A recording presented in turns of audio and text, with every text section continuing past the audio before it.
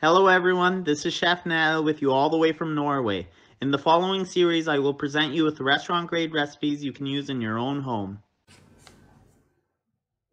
بسم الله زبدة 120 جرام جوز الهند 2 كوب زبدة وليس منجرين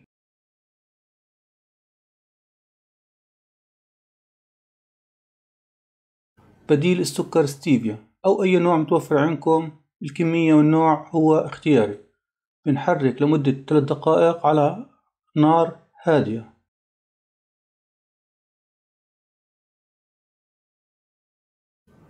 بعدين نوضعه في وعاء خمس دقائق حتى يبرد قليل.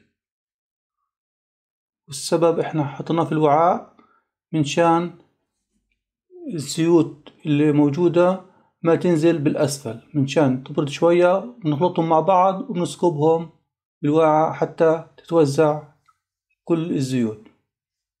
هيك أصبح جاهز.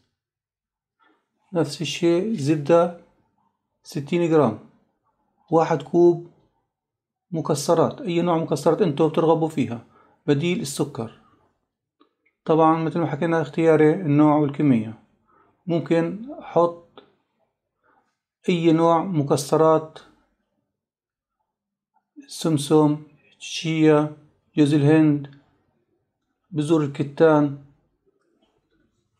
هي اختياري. المهم لكل كوب ستين جرام زبدة سواء مشكل أو من نوع واحد ستين جرام زبدة لكل كوب. نفس الشيء بنتركه خمس دقائق حتى الزيوت تهدى. بعدين بنخلطه شوية وبنسكبه. في الوعاء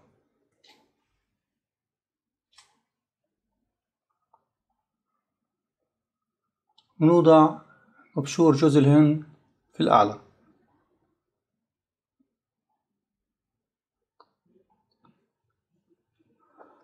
وهيك عملنا نص كوب مكسرات لوحده. أنا بديكوا خيارات كتير مشان إنتو تعملوا المناسب لإلكم والمكونات المناسبة لإلكم. هيك بنوضع زبدة ستين جرام وقليل من ستيفيا وقليل من الفانيلا بدون سكر والسمسم كوب سمسم. نفس العيارات. طبعا على نار ثلاث دقائق نفس الشي نتركها خمس دقائق تبرد وبعدين بنقلبها وبنسكبها في الوعاء. دائما لازم نرجع لنظام الغذائي القديم نظام أجدادنا. ليس نظام أبائنا نظام أجدادنا. لأنه اليوم النظام الغذائي كله سكر وطحين أبيض كله مكرر ومنكهات. هيك بنعمل خلطة تانية.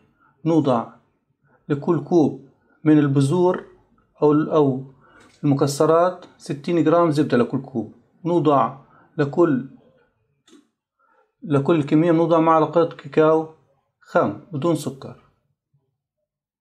أنا بديكو خيارات في عندي خيارات كتير ولكن ما بدي أنا الفيديو يكون طويل.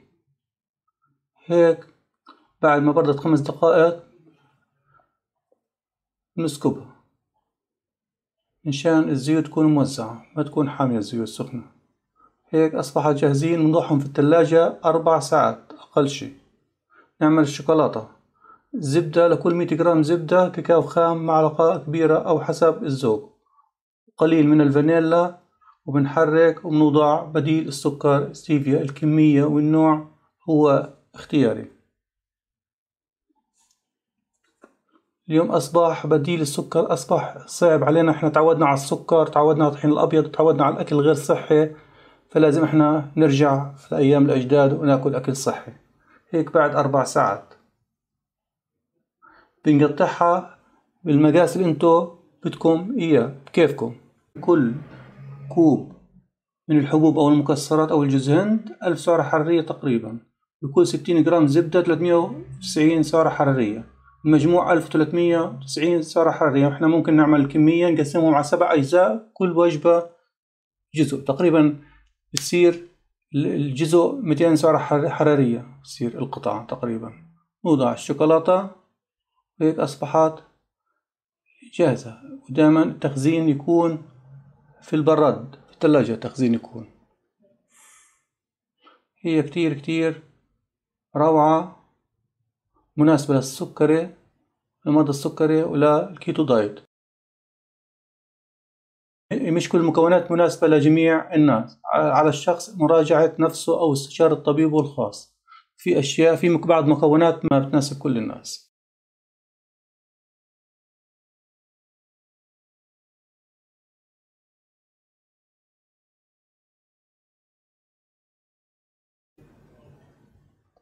في أمان الله. انتظرونا بوصفة جديدة. شكرا كتير لكم أتمنى الاشتراك بالقناة. إذا عجبكم الفيديو تعملوا لايك مع السلامة.